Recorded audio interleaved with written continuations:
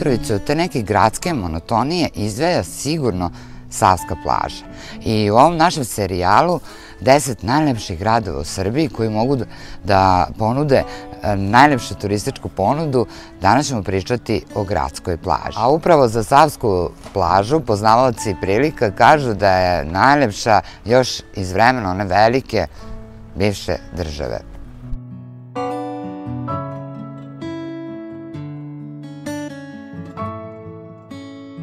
Ako krenete šetalištem nizvodno, dolazite do prelepo uređene Mitrovačke gradske plaže Brioni, prava oaza u samom centru grada.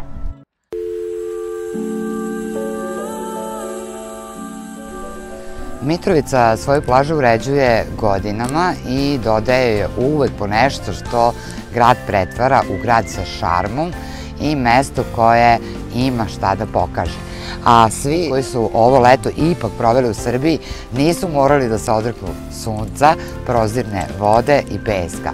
Ovde se nalazi jedna od najlepših plaža naše zemlje.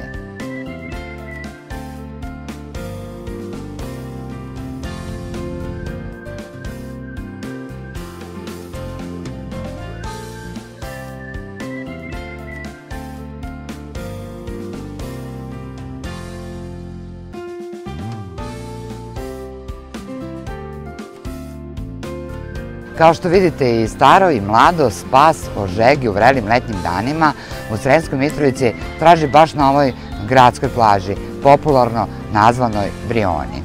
Sremsko-Mitrovički Brioni predstavljaju peščanu plažu koja se nalazi na obalama reke Save. Ovo je jedno od onih mesta na koje je lokalno stanovništvo ponosno i koje će vam rado preporučiti.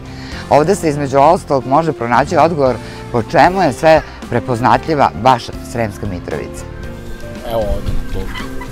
Na klupi na plaži? Pa, da.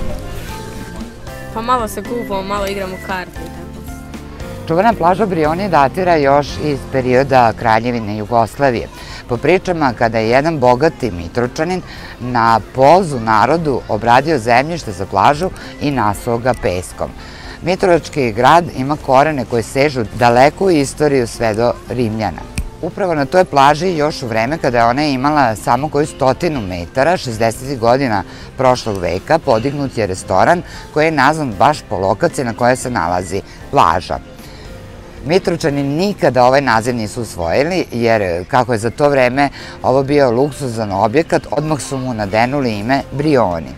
Moguće je da im je interijer ovog tada jedinog elitnog restorana u gradu ličio na Titove Brione – Mada postoji priča, ne znam se da li je prava, da je Tito u obilasku Srenske Mitrovice rekao da plaža liči na Briune. Tako da je ovaj naziv koji nikada nije bio zvaničan ostao do dan danas, iako je restoran na Savi menjao vlasnike. Napravljen je na stubovima sa dve sale i dve terase. U ovom lokalu tokom 70-ih su održavane igranke, kažu za one sa malo dubljim džepom, a kasnije ovaj restoran je služio i za dolazak na ručak sa poslovnim partnerima. Kasnije generacije 80. i 90. godina su ovde pravile rođendane, pravile žurke, svatove, mature i tako dalje. A Brioni su 70. godina ugostili i Tita.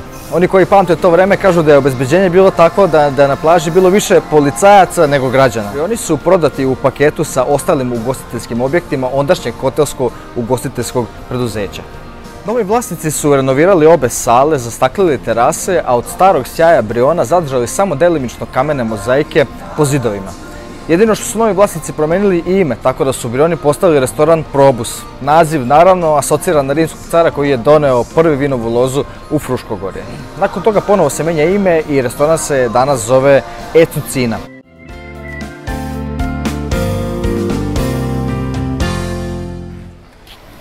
Na gradskoj plaži u Sremskoj Mitrovici postavljen je i eksponat gusarskog broda koji ima za cilj da upotpuni zabavne sadržaje za decu na našoj Mitrovačkoj plaži.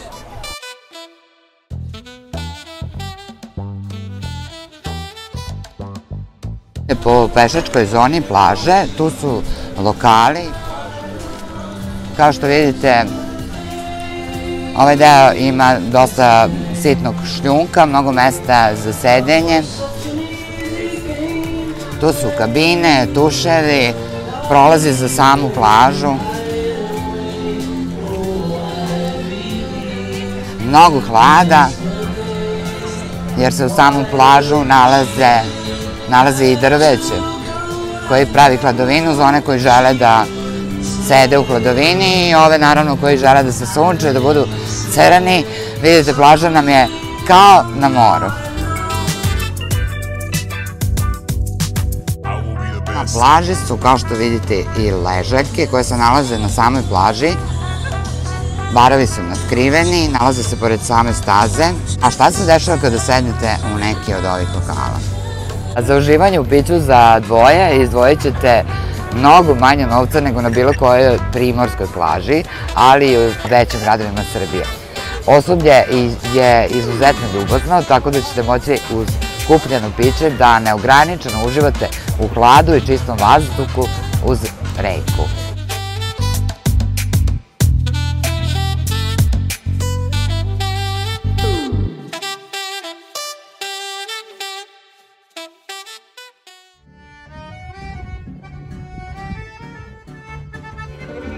ali pustom srcu nikad dosta nije. Ono bi ko nekad još ljubavi htjelo.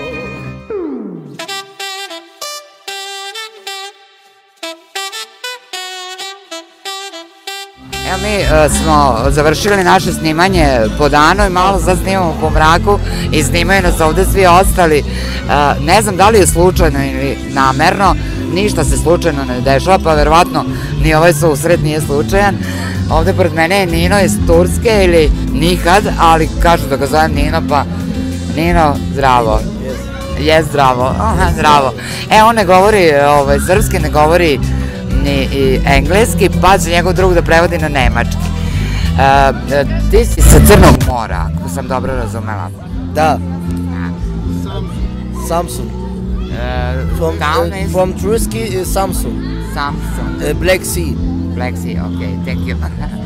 E, da li je, sad je tamo leto i uglavnom su Mitrovčani u, u, otišli u Tursku i najviše vole Alanju ili da odu u Istanbul da kupuju, a on je došao ovde na naše Savsko more. E, ali može da mi kaže neku razliku Savsko more, a, Tursko more, Crno more? Uh, es ist halt kein Unterschied. Uh, es ist halt, die Menschen sind gleich, südländische Mentalität. Und ich mag es auch, andere Kulturen zu sehen, andere Länder, andere Sitten und uh, Nema mnogo razlike između Crnog mora i Save. Što se tiče provoda naroda, volim Srbiju. Bio sam 2019. godine prvi put ovde u Srbiji, kod vas u poseti, ovde sam upoznao narod, hranu, provod, volim devojke, lepe su, sviđa mi se, volio bih da budem malo duže ovde, da ovde provodim vreme, ali sutra putujem za Istanbul i ja sada koristim godišnji odmor. Interesuje me, otkud baš u Srbiji? Da li je neko poznanstvo u pitanju ili, ili sasvim slučajno? Došao sam zbog poznanstva. Ovde imam dosta prijatelja, volim ovaj mentalitet. Mi smo mnogo slični narod. Srpski narod je mnogo toplog srca i zato sam izabrao Srbiju i moram da kažem da volim Srbiju. 2019. godine takođe sam bio u Srbiji I u povratku za Nemačku sam prolazio i svratio u Hrvatsku i tamo mi se baš nije toliko dopalo kao ovde u Srbiji na Savi. A, moram da kažem da ne mora da bude more. Reka Sava je sasvim dovoljna. Kada se jednom ovde dođe i kada se vidi šta sve Mitrovica ima, kako je lepo, kako je lepo sređeno i uređeno, ima žive muzike, ja se osjećam kao kod svoje kuće i to me mnogo znači. E, mnogo mi je žao što nema još više turista da upoznaju Srbiju i ovaj grad, kao što, na primjer, posećuju Beograd. Mnogo mi se sviđa Srbija. E, žao mi što mediji u Nemačkoj nekada loše pričaju o Srbiji. Priča se čak i da ovde nema struje, vode, da je još rat i jako mi je žao što je to tako. Hrvatsku podižu, a Srbiju spuštaju.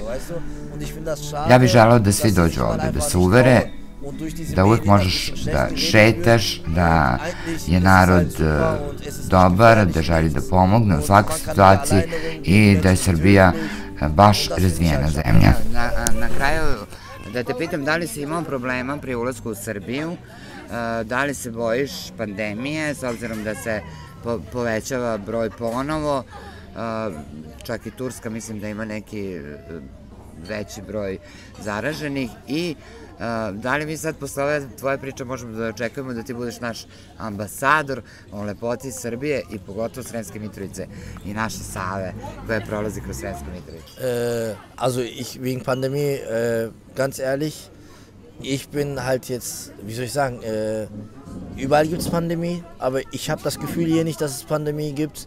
Und hier sieht man, dass wieder Menschen mal kurz, also ich fühle mich wieder, ob es kein Pandemie... Pri ulasku u Srbiju nisam imao nikakvih problema, kao na primer kada sam išao u Španiju, e, kada vidim moj turski pasoš, ka, onako gledaju me malo drugačije. I evo ja ću da ponovim da bi preporučio svima koji se plaše da kolima, na primjer, dođu u Srbiju, da ne treba da se plaše, nek uh, usednu kola i nek dođu da vide ovu lepu prirodu, lepotu, savu i da uživaju svemu onome u čemu sam ja ovde uživao. Und auch Srpska Mitrovica sehen. Ovaj, šta najviše voliš? Savu. Izbori za, e, između, ne znam, odlazak na neko letovanje na Primorje, Crnogorsko, Tursko, Špansko, bilo koje ili Sava? Šta pre? Mi uvek dođemo ovde i kažemo ići ćemo i na more. I nikad ne odemo. Evo sad i ove godine. Ajde još malo da ostanemo. I opet ne odemo. Da, uvek još malo na Savu. Da. Ona iz Holandije dovodi svoje prijatelje i oni su uvek vraćaju. Koji je razlog da oni dođu, oni dođu prvi put onako prijateljski? Zašto se ponovo vraćaju u Srbiju? Kad ih pitam, njima je sve lepo. E, ljudi, klima, e, hrana, pijaca.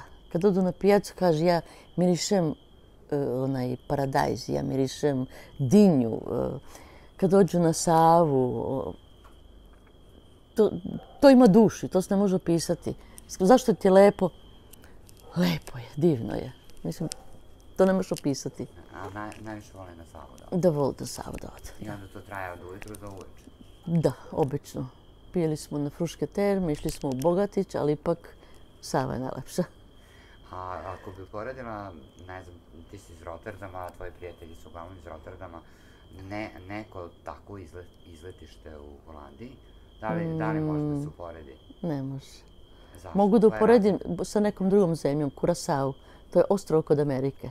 Tamo smo bili dva puta. Tamo imaš more, ovdje imaš Savu, čitav dan si tamo, onda samo obučeš i pređeš gore, naručiš jelo, vino, pivo, kao što pije, jedeš i onda odeš kuću 90 sati. Kurasao je isto kao što, su, kao što je Ibica bila 80. godina. Mislim, popularno, ta populacija. Znači, bez obzira što si otišla pre mnogo godina iz uh, Sremske Mitrovice, ljubav prema Savi... To ostaje, da to, to ostaje. Ne može da se To ostaje u tebi.